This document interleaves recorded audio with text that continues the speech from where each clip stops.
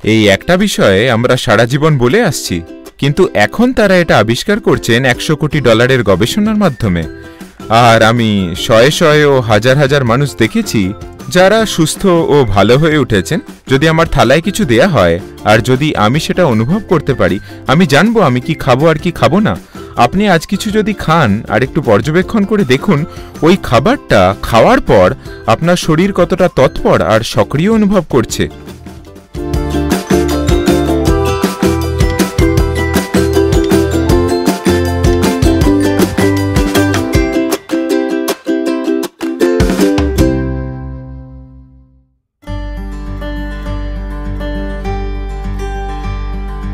একটা সহজ ব্যাপার যা বিশ্বে এখন দারুণ জনপ্রিয় তা হল, যদি আপনি আসেন আমাদের আশ্রমে, দেখবেন সেখানে সব মানুষ যারা শারীরিকভাবে ভীষণ পরিশ্রম করেন, দিনে দুবার খান, সকাল দশটায় আর সন্ধ্যে সাতটায়।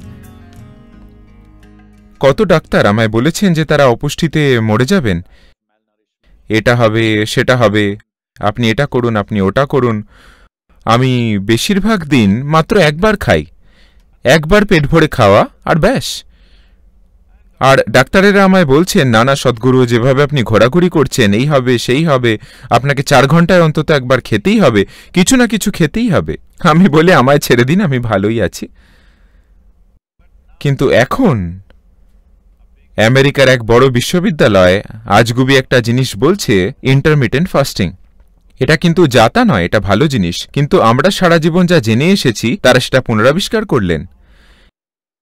এখন সবাই বলছে, একটা ষোলো ঘণ্টার বিরতি থাকা ভালো। তাহলে আপনার সমস্ত রোগ চলে যাবে। আমরা তো এটাই বলে এসছি হাজার হাজার বছর ধরে। আসল ব্যাপারটা হলো, এটার অনেক অনেকগুলি দিক রয়েছে। মানসিক, শারীরিক। কিন্তু এখন ক্যান্সার বেড়ে চলেছে বিশ্বে। একটা ক্যান্সার আক্রান্ত কোষ অনেকটা আমাদের সমাজের আসামিদের মতো আমাদের সবার দেহেই আছে। একমাত্র যদি তারা তাদের যেমন সংগঠন হওয়া উচিত তার তুলনায় বেশি হয়ে যায় বা তারা দল বেঁধে আর বসতি করে একটা জায়গায় তারা হয়ে ওঠে ঠিক পরিকল্পিত অপরাধের মতো।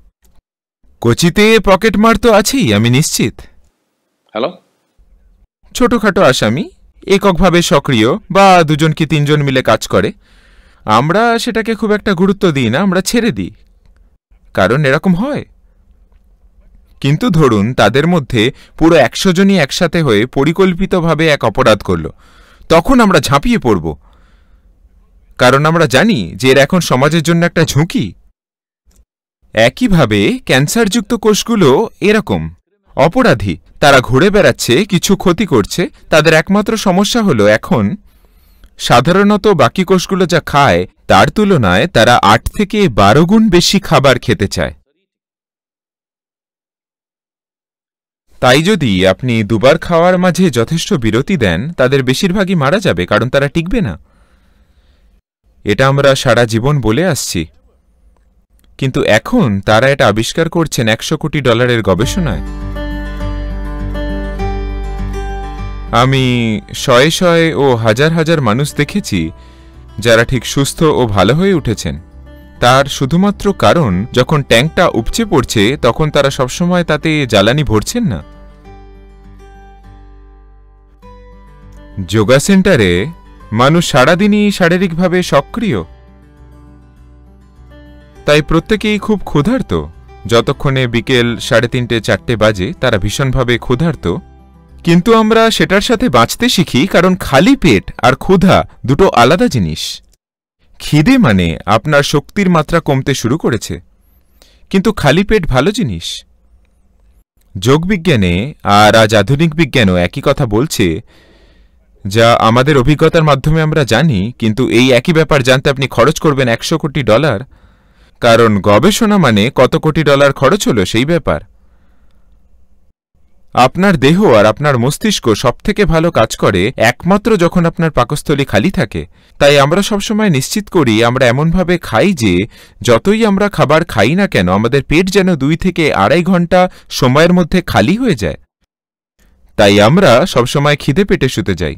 লোকজন ভাবেন তারা ঘুমোতে পারবেন না। তারা পারেন ঘুমোতে।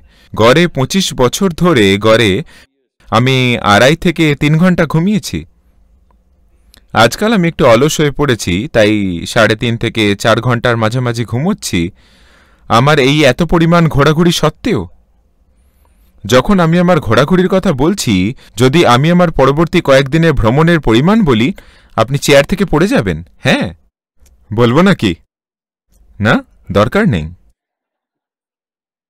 কারণ পরবর্তী দশ দিনে আমি পাঁচটা দেশে যাব কতগুলো অনুষ্ঠান করতে জানি না, নানা রকমের অনুষ্ঠান। তা আপনি এটা বজায় রাখতে পারবেন শুধুমাত্র যদি আপনি মাত্রাধিক না খান, এটা ভীষণ জরুরি। সবাই দুবার খায়, আমি সাধারণত একবার খাই, বিকেল সাড়ে চারটে পাঁচটা নাগাদ। কারণ থালার সামনে বসে আমি দুশ্চিন্তা করতে পছন্দ করি না যে কতটা খাব, আমি ভালো করে খেতে পছন্দ করি। তাই বিকেল সাড়ে চারটে পাঁচটায় যদি আমি একবার খাবার খাই, তাহলে আবার সেই পরের দিন। এটা কি যথেষ্ট? আমাকে ঠিক দেখাচ্ছে, হ্যালো? কারণ যে কোনো সংশোধন এবং পরিশোধন যা শরীরে ঘটা দরকার, তার জন্য আপনার পাকস্থলী ফাঁকা হতে হবে। এটা ভীষণ গুরুত্বপূর্ণ। তা না হলে কোষীয় স্তরে পরিশোধন হবে না। আপনি প্রচুর পরিমাণ জিনিস জড়ো করেন আর তারপর আপনার নানা রকমের সমস্যা দেখা দেয়।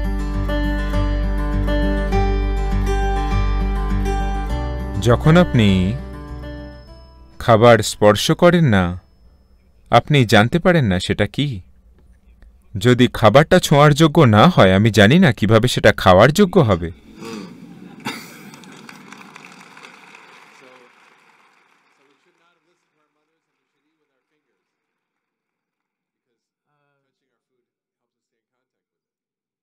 আপনি পারেন আপনার হাতের পরিচ্ছন্নতাটা পুরোটাই আপনার হাতে, কিন্তু কাঁটা চামচের পরিচ্ছন্নতা পুরোটা আপনার হাতে নেই। This is true. আর আপনি ছাড়া আর কেউ নেই যে এই হাতগুলোকে ব্যবহার করছে। তাই এই আশ্বাসটা রয়েছে। এই মুহূর্তে এটা ঠিক কতটা পরিষ্কার বা অপরিষ্কার? আপনি জানেন না কাঁটা চামচটাকে ব্যবহার করছে, কীভাবে ব্যবহার করছে, কি জন্য ব্যবহার করছে। আর তাদের খালি যা করতে হবে তা হলো এটাকে টিস্যু পেপার দিয়ে মুছে আপনাকে দিয়ে দেয়া। আর তাতেই সেটা দারুণ পরিষ্কার দেখায়। সবথেকে বড় কথা, আপনি খাবারটিকে অনুভব করেন না। সবার আগে যা আমাদের শেখানো হয় তা হলো, যদি আপনার সামনে খাবার থাকে, খাবারটাকে কিছুক্ষণের জন্য হাতে ধরা। খালি অনুভব করতে খাবারটা কেমন? যদি আমার থালায় খাবার দেয়া হয়, আমি শুধু অনুভব করলেই বুঝতে পারি কি খাব আর কি খাব না। যেটা আমার খাওয়া উচিত না, আমি চোখে দেখে তারপর সরিয়ে রাখি না, আমি সেটা খাইই না। কারণ আমার হাত হলো প্রথম স্তর। স্বাদ গ্রহণ করার জন্য নয় সেটা জীব করে খাবারটাকে জানা। সবার আগে হলো খাবারটাকে জানা। আপনি একজন ব্যক্তিকে জানতে চান আপনারা যান তার সাথে হ্যান্ডশেক করেন। আমি সাধারণত এটা এড়িয়ে চলি কিন্তু.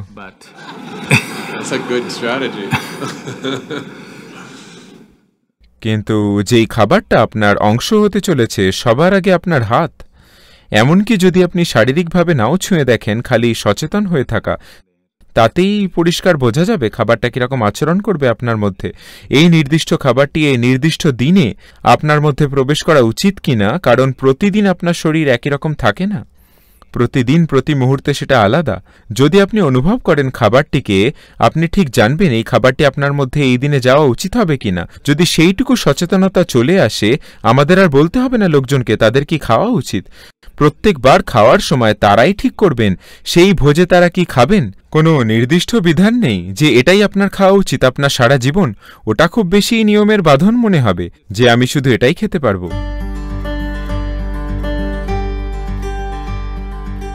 আপনার খাবার বাছা আর খাবার খাওয়াও হওয়া উচিত সচেতনতার সাথে। কি খাচ্ছেন, তার থেকেও বেশি কীভাবে খাচ্ছেন সেটাও সমানভাবে গুরুত্বপূর্ণ। যখন আমি বলি কীভাবে আপনি খান, এগুলো সবই জীবনের উপাদান। ওদের প্রত্যেকেরই নিজস্ব জীবন ছিল, সেটা গাছ হোক, সবজি বা পশু। ওদের প্রত্যেকের একটা নিজস্ব জীবন ছিল। এখন কোনোভাবে আপনি সেটা থেকে খাবার পাচ্ছেন? আপনি অবশ্যই সেটা গ্রহণ করুন যথাযথ কৃতজ্ঞতার সাথে। যদি আপনি খাবারটার প্রতি এগোন, এক প্রকার কৃতজ্ঞতা আর শ্রদ্ধা নিয়ে, যখন আমি বলি কৃতজ্ঞতা আর শ্রদ্ধা, লোকজন হয়তো ভাববেন এটা খুব বেশি তাদের জন্য, কিন্তু আমি আপনাকে জিজ্ঞাসা করছি, ধরুন আমরা আপনাকে একটা ঘরে রাখলাম আর আপনার কাছে কিছু খাবার নেই পাঁচ দিন ধরে, যদি ভগবান আপনার সামনে আসেন, আপনি কি চাইবেন? খাবার? তাই এতটাই গুরুত্বপূর্ণ এটা। আপনাকে বুঝতে হবে আপনার পাতের খাবারটি কেবলমাত্র কোনো উপাদান নয়, কোনো পদার্থ নয়, কোনো দ্রব্য নয়, এটা জীবন। এটাই আপনার জীবন গড়ার উপাদান। তাই আপনাকে এটাকে ব্যবহার করতে হবে সেভাবেই। এই মুহূর্তে যখন এটা থালায়, যখন এটা বাইরে, এটার কোনো মূল্য নেই। কিন্তু যেই মুহূর্তে আপনি এটা ভক্ষণ করলেন, এটা হয়ে গেল আপনার রক্ত আর মাংস। এখন হঠাৎ করে এটার প্রচুর গুরুত্ব। কেন আমরা এভাবে বাঁচছি? এটা ভীষণ জরুরি, যখন এটা আপনার থালায় আসে, তখন থেকেই এটার আপনি যত্ন নেবেন। নিজের অংশ হিসাবে গভীর শ্রদ্ধার সাথে আপনি খাবেন। যেভাবে আপনি খাচ্ছেন, কেবলমাত্র সেটা যদি বদলান, খাবার আপনার মধ্যে অনেক অন্যভাবে আচরণ করবে, এটাই সচেতনতার মানে। যদি লোকজন বলেন, সচেতনতার কোনো প্রভাব নেই আপনার জীবনে শুধুই রাসায়নিক গঠনগুলোর প্রভাব আছে, আমি খুবই দুঃখিত তাদের জন্য, কারণ জীবন ওভাবে কাজ করে না। মানব চেতনার গভীর ও প্রগাঢ় প্রভাব আছে সবকিছুর ওপর, যা আমরা স্পর্শ করি, বিশেষ করে খাবার, যেটা আমরা আমাদের অন্তর্ভুক্ত করছি আরেকটা জীবনকে আমাদের অংশ হিসেবে। যখন আমরা এমন একটা কাজ করছি, এটা ভীষণ ভীষণ গুরুত্বপূর্ণ যে আমরা তার সাথে যথাযোগ্য কৃতজ্ঞতা ও শ্রদ্ধার সাথে ব্যবহার করি।